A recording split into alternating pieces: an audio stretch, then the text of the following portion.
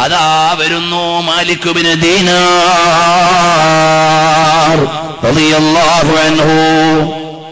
പരിശുദ്ധമായ മക്കയിലാണ് ഒരുപാട് ആളുകൾ ഹജ്ജ് ചെയ്യുന്നുണ്ട് അനവധി ആളുകൾ വിശുദ്ധമായ കൈബാലയത്തിന്റെ ചുറ്റും തവാഫ് ചെയ്യുന്നുണ്ട്. ഒരുപാട് ആളുകൾ ഈ കൊല്ലത്തെ ഹജ്ജിന് പങ്കെടുത്തിട്ടുണ്ട്. അപ്പോൾ മഹാന്റെ മനസ്സിൽ ഒരു വിചാരം പടച്ചോനെ ഇവരെ എല്ലാവരെയും അല്ല സ്വീകരിച്ചിട്ടുണ്ടോ? അപ്പൊ അവിടുന്ന് പറഞ്ഞു ആലോചിച്ചുകൊണ്ട് രാത്രി കിടന്നുറങ്ങിയപ്പോൾ അതാ വരുന്നു ഒരു ശബ്ദം. ഒരാളെ ഒഴിച്ച് എല്ലാരെ അള്ളാഹു താല ഈ കൊല്ലം സ്വീകരിച്ചിട്ടുണ്ട്. ഈ കൊല്ലം ഹജ്ജിന് പങ്കെടുത്ത പതിനായിരക്കണക്കിന് ആളുകൾ അതിൽ ഒരാളെയല്ലാതെ എല്ലാവരെയും അള്ളാഹു സ്വീകരിച്ചു. മാലിക്കുവിന് ദീനാർ തങ്ങൾ ആലോചിക്കുകയാണ് പടച്ചവനെ ആ സ്വീകരിക്കപ്പെടാത്ത ആൾ ഞാനാണോ? നല്ലവരെങ്ങനെയാണ് ചിന്തിക്കുക? മോശക്കാര് ചിന്തിക്കുക അങ്ങനല്ല. ഞാൻ എന്തായാലും സ്വീകരിക്കപ്പെട്ടിട്ടുണ്ടാകുമെന്ന വിചാരമാണ്. അങ്ങനെ മാലിക്കുവിന് ദീനാറ് ചിന്തിക്കുന്നു സ്വീകരിക്കപ്പെടാത്ത ആൾ ഞാനാണോ? നേരം വെളുക്കുന്നത് വരെ പരിഹാരമില്ല. അവസാനമതാ പിറ്റേന്ന് വീണ്ടും കിടന്നുറങ്ങുമ്പോ വരുന്നു. ഓ മാലിക്കുബിന് ദീനാറേ എല്ലാ ഹാജിമാരെയും അല്ല സ്വീകരിച്ചു പോയി പക്ഷേ മുഹമ്മദ് ബിൻ ഹാറൂൻ എന്ന ഹുറാസൻകാരനായ ഒരാളെ മാത്രം അല്ല സ്വീകരിച്ചിട്ടില്ല.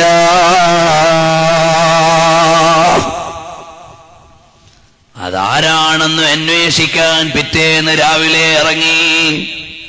ഇത് ഇബിനുൽ ജൗസി രേഖപ്പെടുത്തിയതാണ് ഞാൻ പറയുന്നത്.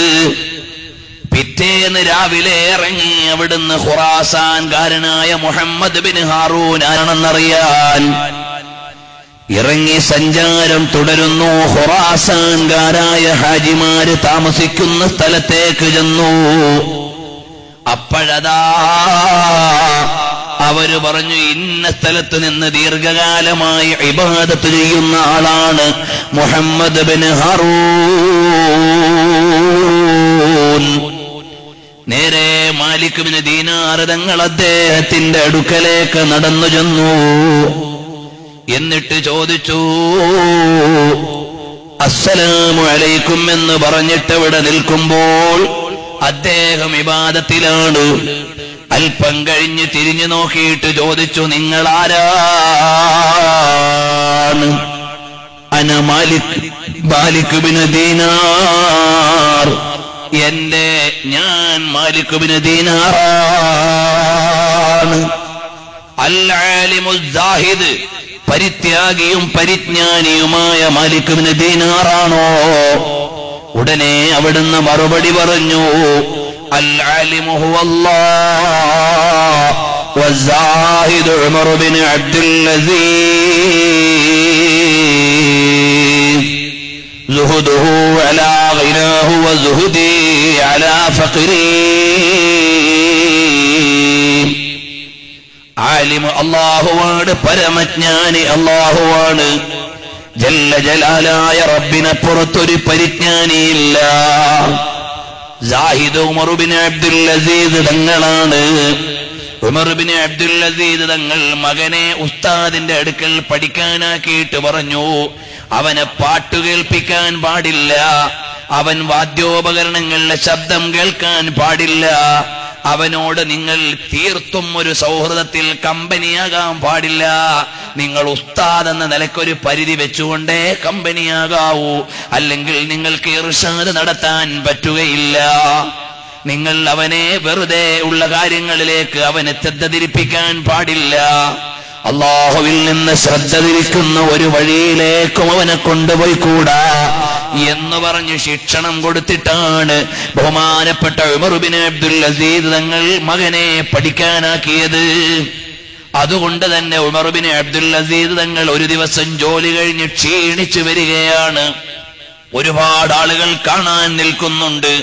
ആ സമയത്തതാ വാപ്പ പറഞ്ഞു ഒമറുബിന് അബ്ദുൽ അസീദ് തങ്ങൾ പറഞ്ഞു നിങ്ങളൊക്കെ ഇവിടെ നിൽക്കണേ? ഞാൻ യാത്ര കഴിഞ്ഞ് ക്ഷീണിച്ചു വരികയാണ്. ഒന്ന് വിശ്രമിച്ചിട്ട് വരട്ടെ. മകനീ വർത്തമാനം കേൾക്കുകയാണ്. വാപ്പാനെ വിളിച്ചു വാപ്പാ വാപ്പയൊന്ന് വിശ്രമിച്ചിട്ട് തിരിച്ചിവരെ അഭിമുഖീകരിക്കാൻ കഴിയുമെന്ന് ഗ്യാരണ്ടി ഉണ്ടോ? ഉടനെ മകനോട് ദേഷ്യം പിടിക്കുകയല്ല. മകനെ ആലിംഗനം ചെയ്തിട്ട് പറയുന്നു മോനെ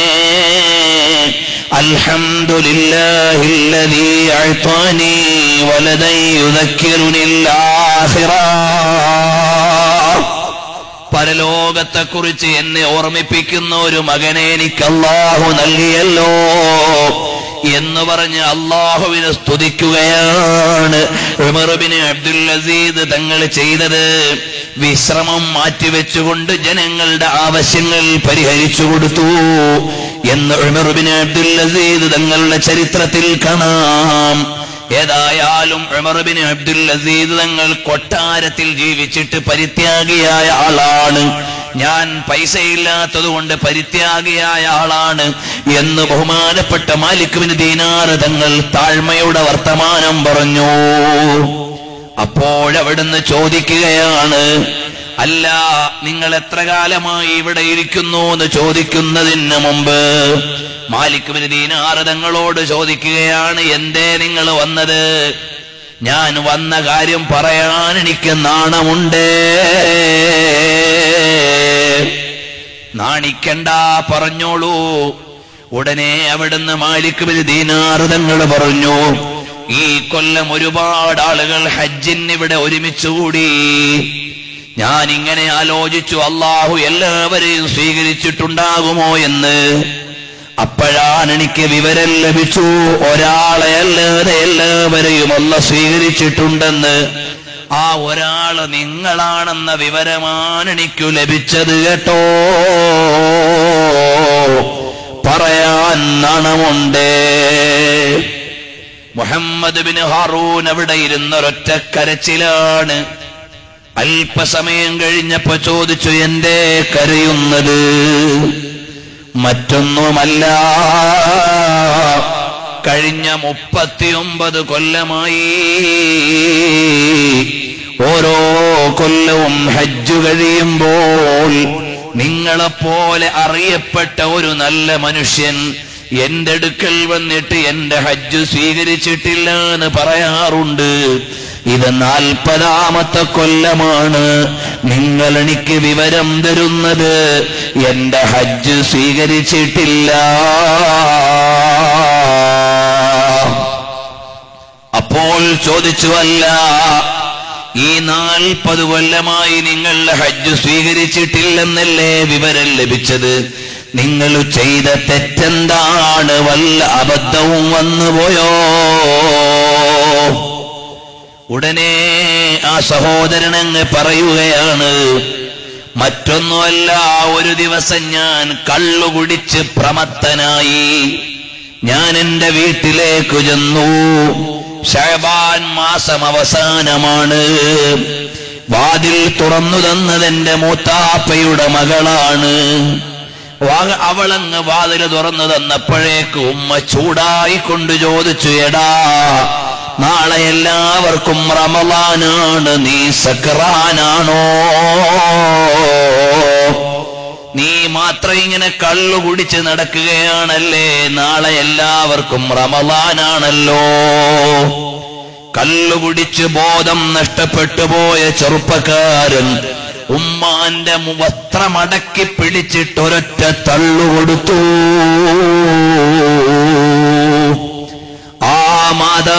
അടുപ്പിന്റെ അടുക്കലേക്ക് വീണ് അഗ്നിബാധയേറ്റു.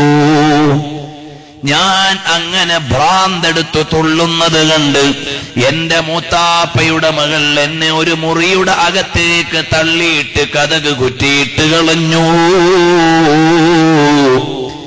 പാതിരാത്രിയായപ്പോൾ ബോധം തെളിഞ്ഞു. കഥകു തുറക്കാൻ വേണ്ടി ഞാൻ വിളിച്ചപ്പോൾ എന്റെ പെങ്ങൾ കഥകു തുറക്കുന്നില്ല. ഞാൻ ചോദിച്ചു മാഹാദിൽ ജഫുവത്തുവ മാഹാദൽ ജഫാ. ഇതെന്താ പെണ്ണെ സാധാരണ ഇത്ര ദേഷ്യം കാണിക്കാറില്ലല്ലോ. നീ എന്താണ് ഇന്ന് വലിയ ദേഷ്യത്തിലാണല്ലോ? അപ്പോൾ അവൾ ഒന്നുകൂടി കയർത്തിട്ട് പറഞ്ഞു എടാ നീ ഉമ്മാനെ കൊന്ന ധിക്കാരിയാടാ. എന്ന് പുറത്തുനിന്ന് വിളിച്ചു പറഞ്ഞപ്പോൾ ഞാൻ ആ കഥക് ചവിട്ടി പൊളിച്ച് പുറത്തേക്കിറങ്ങി. എന്റെ ഉമ്മ അഗ്നിബാധയേറ്റ് മരിച്ചുപോയി. എനിക്കപ്പോഴേക്ക് ദുഃഖം വന്നു. ഞാൻ നേരെ കഥകിന്റെ അടുക്കലേക്ക് വന്ന് എന്റെ ഒരു കൈ വാതിൽ പടിയിൽ വെച്ച് മറ്റേ കൈ കൊണ്ട് ആ കൈപ്പത്തി അങ്ങ് മുറിച്ചു കളഞ്ഞു. എൺപതിനായിരം ദീനാറെന്ന് എന്റെ ഉടമസ്ഥതയിലുണ്ട്. അത് മുഴുവനും ഞാൻ പാവപ്പെട്ടവർക്ക് ധർമ്മം ചെയ്തു. എന്നിട്ടു ഞാൻ ഇറങ്ങിയതാണ് അള്ളാഹുവിന്റെ ഹറമിന്റെ ഭൂമിയിലേക്ക്. നാൽപ്പത് ദിവസത്തിലൊരിക്കലേ ഞാൻ നോമ്പൊഴിക്കാറുള്ളൂ. എല്ലാ ദിവസവും ഞാൻ ഇബാദത്തിലാണ്. നാൽപ്പത് കൊല്ലമായി ഞാൻ അറഫയിൽ പങ്കെടുക്കുന്നുണ്ട്. നാൽപ്പത് കൊല്ലമായി ഞാൻ ഹജ്ജ് ചെയ്യുന്നുണ്ട്. ഈ ഒൻപത് കൊല്ലവും ഓരോ സ്വാലിഹീങ്ങൾ വന്നിട്ട് പറയും എടാ നിന്റെ ഹജ്ജ് കബൂലായിട്ടില്ല. എടാ നിന്റെ ഹജ്ജല്ല സ്വീകരിച്ചിട്ടില്ല. ഇത് നാൽപ്പതാമത്തെ കൊല്ലമാണ് നിങ്ങൾ എന്നോട് വന്ന് പറയുന്നത്. എന്റെ ഹജ്ജ് സ്വീകരിച്ചിട്ടില്ലാണ് ഞാൻ എന്തു ചെയ്യാനാണ്? ഉടനെ മാലിക്കുബിന് ദീനാറ് തങ്ങൾ എഴുന്നേറ്റ് കയർക്കുകയാണ്. എടാ ധിക്കാരി നിനക്ക് ലോകം മുഴുവനും അങ്ങ് ചുട്ട് കരിച്ചുകൂടായിരുന്നോ? ഉമ്മാനെ കത്തിക്കുന്നതിന് പകരം നിനക്ക് ലോകമങ്ങ് ചമ്പലാക്കിയാലും നഷ്ടം വരില്ലായിരുന്നല്ലോ എന്ന് പറഞ്ഞിട്ട് കയർത്തങ്ങ് പുറത്തേക്ക്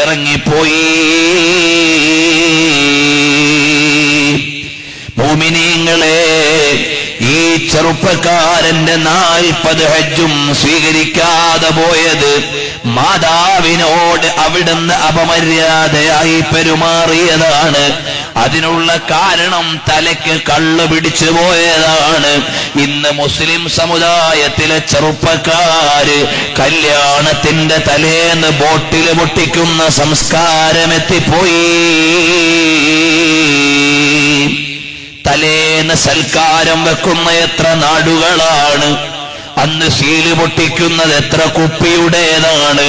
കുടിച്ചു തീർക്കുന്നത് ഈ സമുദായത്തിന്റെ മക്കളല്ലേ? പടിഞ്ഞാറിന്റെ പരിഷ്കാരം ഏറ്റെടുത്തതല്ലേ ആധുനികതയുടെ നെറുകയിൽ തുള്ളാൻ കയറിയതല്ലേ?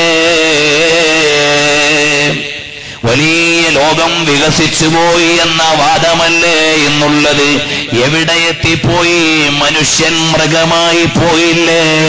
ആറു വയസ്സുകാരിയും അറുപത് വയസ്സുകാരിയും പീഡിപ്പിക്കപ്പെട്ടില്ലേ? പിതാവിന്റെ തലയടിച്ച് ചെരവ് കൊണ്ട് കൊന്നുകളഞ്ഞ ചെറുപ്പക്കാരുള്ള ദൈവത്തിന്റെ രാജ്യമല്ലേ ഇത്? കടപ്പുറത്ത് നിന്ന് ഭാര്യാപിതാവിനെ കൊന്നിട്ട് ബോട്ടിന്റെ അടിയിൽ വെച്ചത് തിരുവനന്തപുരത്ത് വിഴിഞ്ഞത്തല്ലേ? ഇതുപോലെ എത്രയോ വാർത്തകളാണ് ദിനേന വരുന്നത്. ഇതിന് മുഴുവനും പ്രചോദനം ഇന്നത്തെ വഴിവിട്ട സാങ്കേതികതയുടെ നെറികെട്ട സ്വാധീനമാണ്. അതുകൊണ്ട് ടി വി ആരൊക്കെയോ അതിനെ പല പേരും വിളിച്ചെങ്കിലും തെറ്റിന്റെ വഴിയെന്ന് വിളിച്ചത് തെറ്റല്ല. മനുഷ്യനെ ഭ്രമത്തിലേക്ക് മാറ്റിക്കൊണ്ടുപോകുന്ന ചിത്രങ്ങൾക്ക് ഇവിടെ സ്ക്രീനിംഗ് ഇല്ല. നേര് പറയുന്ന വാർത്താ മീഡിയകൾക്ക് വിലങ്ങിടുന്ന ഏതെങ്കിലും ഭരണകൂടം വൃത്തികെട്ടത് തുറന്നു വെക്കുന്ന ചാനലുകളെ നിയന്ത്രിക്കാറുണ്ടോ ഇല്ല? ഇന്ന് മൊബൈൽ രോഗം ബാധിച്ചിട്ട് നമ്മുടെ മക്കൾ അവരുടെ കോൺസെൻട്രേഷൻ മുഴുവനും വിദ്യാഭ്യാസ മേഖലയിൽ നിന്ന് നഷ്ടപ്പെട്ടിട്ട് അവർ താന്തോ നിവാസത്തിന്റെ അടിമകളായി മാറിയില്ലേ? വിഷയം പരക്കുന്നില്ല. പറയുന്നത് അവസാനിപ്പിക്കുന്നു അതാ ഈ നാൽപ്പത് കൊല്ലത്തെ തീരാ ദുഃഖവുമായിരിക്കുന്ന മനുഷ്യൻ അവിടെയും ഒരൊറ്റ കാര്യം പ്രശ്നം പറഞ്ഞാൽ പോരല്ലോ സൊല്യൂഷനും പറയണമല്ലോ. പ്രോബ്ലം പറഞ്ഞാൽ മതിയാകില്ലല്ലോ പരിഹാരം വേണമല്ലോ. അതാണ് അവിടെ വരുന്നതാരാണ് ഒരൊറ്റ വിളിയാണ് റബ്ബേ. നാൽപ്പത് കൊല്ലമായി നിന്റെ കഴബാലയത്തിന്റെ കില്ലയോട് മുഖമമർത്തിയിട്ട് പാപമോചനം നടത്തി. നാൽപ്പത് കൊല്ലമായി നിനക്ക് വേണ്ടി എന്റെ നെറ്റി നിറയിലേക്ക് വെച്ചു. നീ എനിക്ക് മോചനം നൽകിയില്ല. ഇനി എവിടെ പോകാനാണ് മാലിക്കുവിന് ദിനാറിനെ പോലെയുള്ള മനുഷ്യൻ കയർത്ത് ദേഷ്യം പിടിച്ചിട്ട് തട്ടിയെറിഞ്ഞു പോയി. അവിടെയാണ് നബി സബ്സെ അല്ല ഹമാരാ നബി മദീനയുടെ രാജാവ് പരിഹാരത്തിന്റെ കേന്ദ്രമാണ് അനുയായിയുടെ ചലനങ്ങളെ അറിഞ്ഞുകൊണ്ട് ഇടപെടുന്ന രാജാവാണ്. ഈ മനുഷ്യൻ പൊട്ടിക്കരഞ്ഞ് നിലവിളിക്കുമ്പോ മാലിവിന് ദീനാറിനെ പിടികൂടുന്നു മുഹമ്മദുർ റസൂലുള്ളാഹി. സല്ലല്ലാഹു അലൈഹി വസല്ലം അതങ്ങൾ രാത്രി വന്നിട്ട് പറയുന്നു മാലിക് ബിൻ ദീനാറേ എന്തേ നിങ്ങൾ കാണിച്ചത്? ജനങ്ങളെ അള്ളാഹുവിന്റെ റഹ്മത്തിൽ നിന്ന് നിരാശപ്പെടുത്തുകയാണോ? എന്തേ അള്ളാഹുവിന്റെ കാരുണ്യത്തിൽ നിന്ന് ജനങ്ങളെ അകറ്റുന്ന പണിയാണോ നിങ്ങൾ ചെയ്തത്? അയാൾക്ക് അല്ല പുറത്തു കൊടുത്തിരിക്കുന്നു.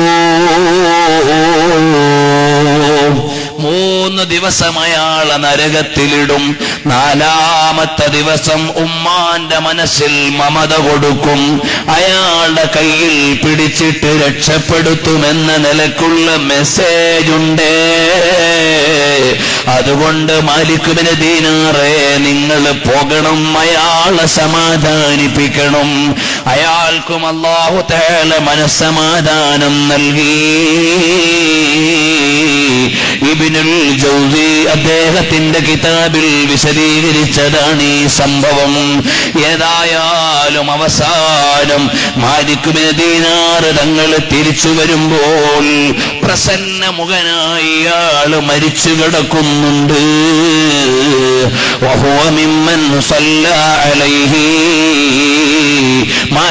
ദീനാറും അദ്ദേഹത്തിന്റെ മേൽ ജനാസ നിസ്കരിച്ചു. അതുകൊണ്ട്